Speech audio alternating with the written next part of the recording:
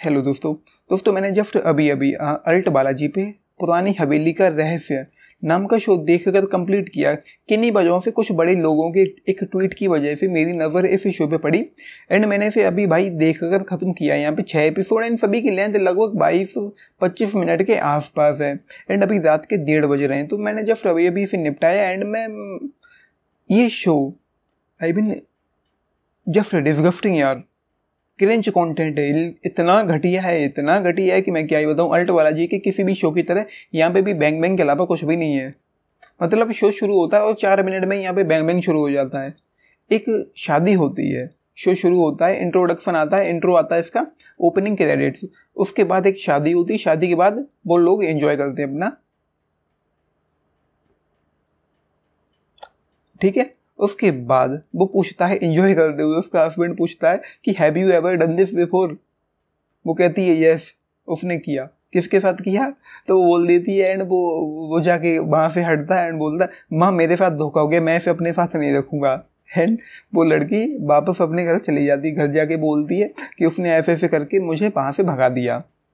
उसके बाद कुछ और चीज़ें होती हैं, कुछ कल्ट वगैरह होता है एंड उसकी जो फैमिली है, इस फैमिली में, जो उस लड़की की जो फैमिली जिसे उस घर से निकाल दिया गया था, उस फैमिली में दो भाई हैं। दो भाई हैं, उनका अपना अपना परिवार है, उनके बच्चे हैं एक परिवार इस तरफ़, एक परिवार इस तरफ़, ऐसे मान लो कि दो भाई हैं, उनकी अपनी फैमिली है। तो एक फैमिली पूरी पूरी खत्म हो जाती है। सात लोग थे फैमिली में, सातों के सातों मारे जाते हैं एक रात।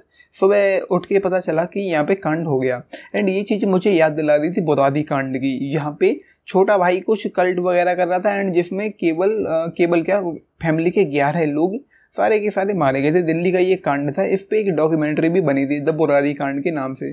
सो उसके बाद पता चलता है कि जो वो चाचा था उस लड़की का, जो फिर उस वहाँ से निकाल दिया गया था, उसके बैंक बैंक के बाद इंजॉय के बाद तो फिर पता चलता है कि हमें पता चलता है कि उस लड़की के साथ उसके चाचा ने भी, उसके बाद उसकी जो कजिन सिस्टर है, उसने उन, उनका भी लेफ्बियन वाला चल रहा है। उसके बाद उसका जो एक बॉयफ्रेंड है, उसका भी चल रहा है। सब कुछ चल रहा है। और उसका जो अपना कजिन भाई है, यहाँ पे कैरेक्टर था, उसका जो कजिन था कजिन ब्रदर था, वो भी उसे बजाने की कोशिश करता है। तो ये चल रहा है यहाँ पे यार। मतलब फैक्स के अलावा यहाँ पे कुछ भी नहीं है। इतना घटिया कौन, इतना घटिया यार शो इतनी घटिया राइटिंग समझ नहीं आ रहा कि यार चाहते क्या हो यार आप लोग? एंड इसके अलावा, एक शो में, इस तरह के शो में वैसे तो मुझे अल्ट वाला जी का कोई, कुछ भी पसंद ही नहीं आता। अब पता नहीं जैसा बोफ जैसा एक आधा शो निकल के आए, पता नहीं कहाँ से ये अच्छे शो निकल के आ गए इस घटिया प्लेटफॉर्म पे।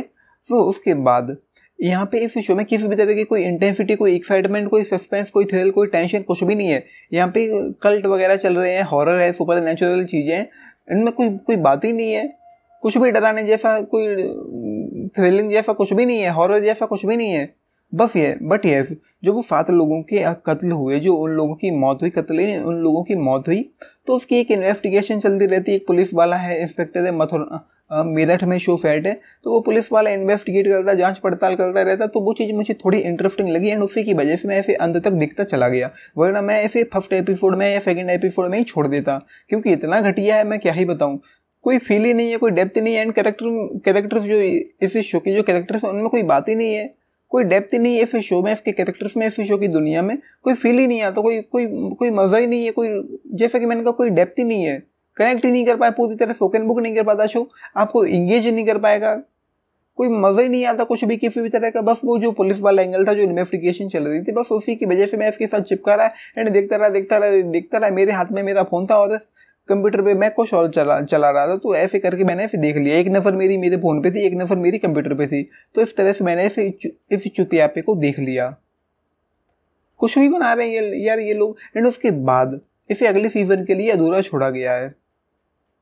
एंड सबसे घटी चीज़ तो यहाँ पे वो थी जो वो वो कैरेक्टर है मुकेश। उसके अंदर उसकी माँ की आत्मा आ जाती है, उसके अंदर उसकी माँ का भूत आता है। तो उसके बाद वो जैसे किसी भी महिला के जो कंधे पे बाल होते पीछे से लेके बाल जैसे यहाँ पे आए तो वो यूँ करके बाल, दोनों हाथों से यूँ करके बाल पकड़ेगा, ऐसे करेगा, खींचेगा। क्या चल रहा है यहाँ पे? कुछ भी कर रहे हैं ये लोग? इतनी घटिया राइटिंग है, मैं क्या ही बताऊँ? कोई फील ही नहीं है, कोई डेप्थ नहीं, कोई पोटेंशियल ही नहीं, कोई ट्रीटमेंट नहीं, कोई मसाला नहीं, कुछ भी नहीं है यहाँ पे। बोगफ बोगफ शो है यार, इससे ज़्यादा मुझे कुछ भी नहीं है ना। बिल्कुल घटिया है, वो जो एंगल मुझे थोड़ा ठीक लगा, उसके लिए जस्ट यार बने ना हाफि फ्रार इसके अलावा इस शो को इस शो को देने के लिए मेरे पास कुछ भी नहीं है। यहाँ पे सिर्फ़ और सिर्फ़ बैग बैंग है बैंग बैंग है एंड बैंग बैंग के अलावा यहाँ पे कुछ भी नहीं है। उनके जिन लोगों ने इस शो को बनाया उनके दिमाग में सिर्फ़ बैंग बैंग ही चलता रहता होगा तो उन्होंने वही यहाँ पे हमें दिखा दिया। शो शुरू हुआ और चार मिनट के अंदर ये सारा तमाशा शुरू हो जाता है।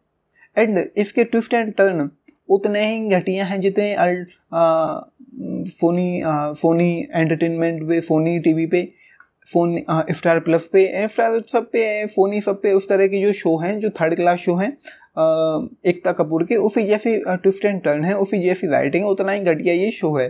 कोई मज़ा ही नहीं है फिर देखने में तो यार स्किप करो फिर देखने का कोई मतलब ही नहीं सच वेस्ट ऑफ़ टाइम यार एंड लेंथ फील होती है पेसिंग फ्लो है। इसके दिन फ़िल्म कोई दम नहीं, कोई बात नहीं, कुछ भी नहीं है यहाँ पे। सो जस्ट बने ना हैप्पी स्टार वो एंगल के लिए जो वो पुलिस वाला जो एंगल था, जो वो इन्वेस्टिगेट कर रहा था तो वो वो मुझे थोड़ा ठीक लगा। लेकिन उसमें भी कोई ज़्यादा बात नहीं थी, कोई कोई खास बात नहीं थी। अंत में पता चला कि ये सारी किलिंग कैसे हुई। तो किसी भी तरह का मेरे अंदर कोई कोई रिएक्शन ही नहीं था, कोई कुछ भी नहीं था मेरे अंदर। तो जब यार स्किप करो, इसे देखना बेवकूफ़ी है भाईयाज शो है। एंड ये लोग, जिसका मैंने ट्वीट देखा था, ये लोग पैसे के लिए कुछ भी दिखाते हैं। एंड साथ में ट्वीट कर दे कि ये कुछ खतरनाक आने वाला है।